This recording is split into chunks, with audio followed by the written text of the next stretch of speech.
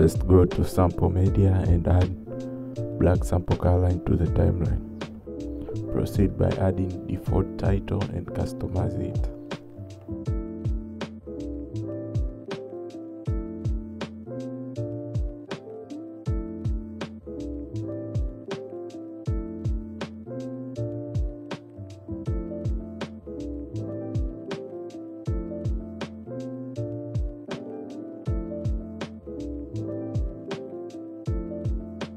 Take a snapshot,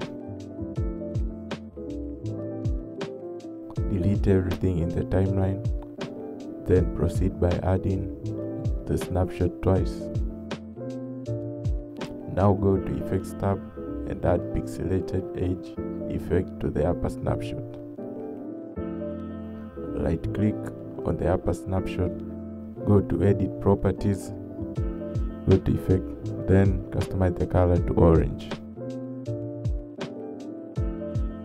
Go to basic then composition and change the blending mode to exclusion. Proceed by taking a snapshot.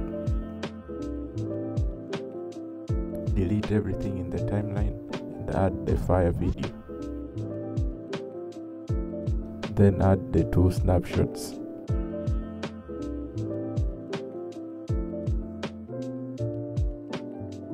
hide the upper snapshot, change the blending mode of the first snapshot to multiply,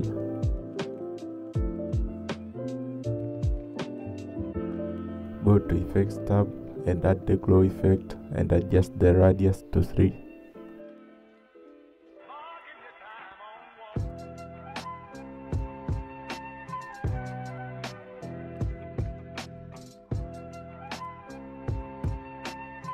And hide the second snapshot.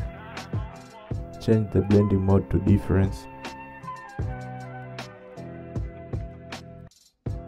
Proceed by adding the glow effect twice. Now click the render icon.